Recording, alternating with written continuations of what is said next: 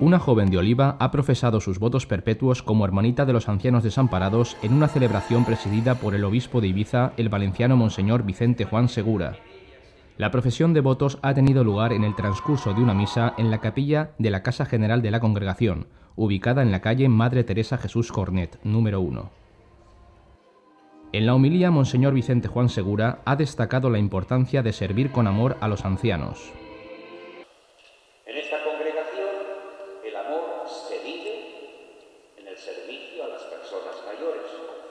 Según un carisma concretado por el siervo de Dios Saturnino López Novoa y Santa Teresa de Jesús Cornet.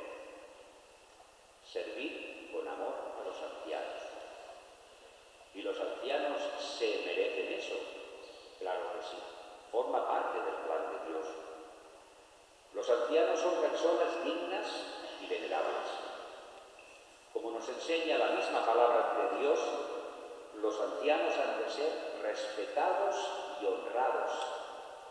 como dice el libro de Job, en los ancianos está el saber, la longevidad y la sensatez.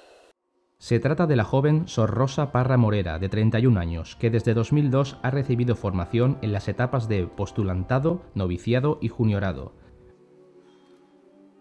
Asimismo, en 2005 profesó sus votos temporales y durante tres años ha realizado también su experiencia en la misión como hermanita.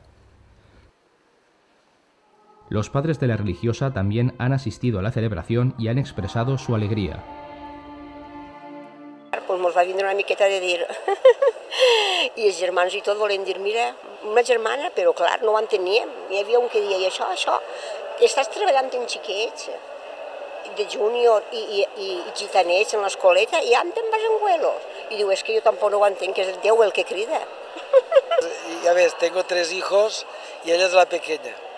Y, y todo el mundo, che, y, y, te la dejas, ¿sí? Una hija que tienes, digo, pues si hoy en día, si se hubiera enamorado de un alemán, ¿qué hubiera hecho? Claro. Pues callar, pues si ella ha sido su vocación, pues tiene las puertas libres.